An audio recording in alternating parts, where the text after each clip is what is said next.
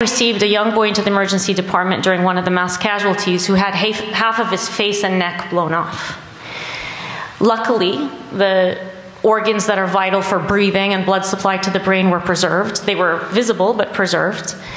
And he was talking to us. He couldn't see himself, so he didn't know what he looked like at that point in time, and he kept asking for his sister. His sister was in the bed next to him.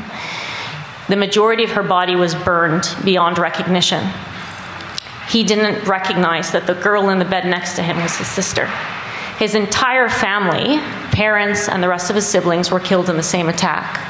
That boy survived, and the next day I went to see him, a very young plastic surgeon, one of the few remaining plastic surgeons in Gaza, because the others have either been killed or have had to, have fled, understandably had removed part of his chest and created a graft to cover that, those vital uh, organs of the neck.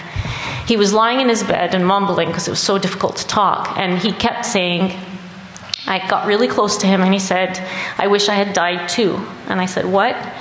And he said, I think my entire family has gone to heaven. Or it's not my entire family. His exact words were something effective. Everybody I love is now in heaven. I don't want to be here anymore.